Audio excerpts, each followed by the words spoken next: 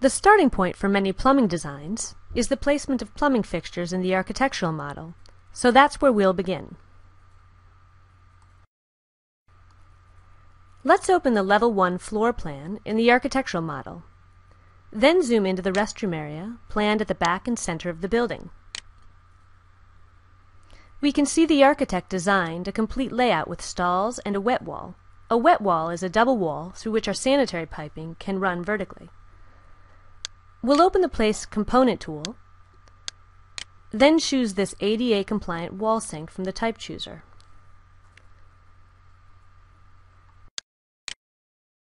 We'll return to the floor plan and place one of the fixtures at the south end of what will be the men's bathroom.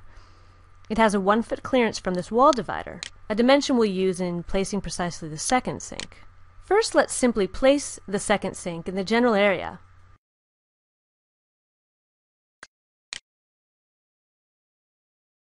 Then by right-clicking this blue box, we can choose Move the Witness Line and bring it to the edge of the sink. We'll do similarly with this other witness line, but bringing it to the center line of the stall wall. Now that the temporary dimensions are properly placed, enter one foot so that the sink repositions to meet this constraint. Let's also place some of the other needed restroom sanitary fixtures, starting with this public low-flow water closet. Zoom into the stall region of the women's restroom and place one on the wall. Use the spacebar to flip the orientation. And we can place another in the second stall. The final fixture we'll need to finish our restroom fixture modeling would be the men's urinal. Let's choose this standard urinal with wing and place it in this non-enclosed stall next to the sink.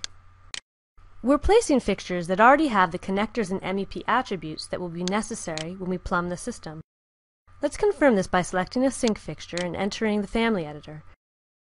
Here we see the object contains a cold water inlet connector and a sanitary outlet connector. By selecting a connector, we can see in the Properties palette some of its attributes such as flow and radius. These will all come into play when we use these fixtures in Revit MEP.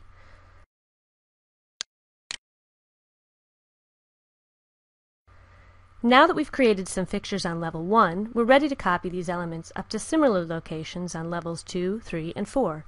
Since the layouts of the restrooms are identical from floor to floor, we can easily paste aligned.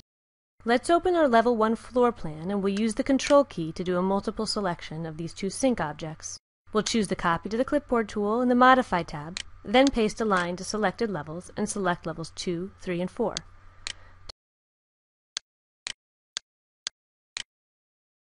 To confirm my objects are pasted, I can open all the levels and use WT to window tile the four floor plan views and see that my sinks were pasted in the upper levels.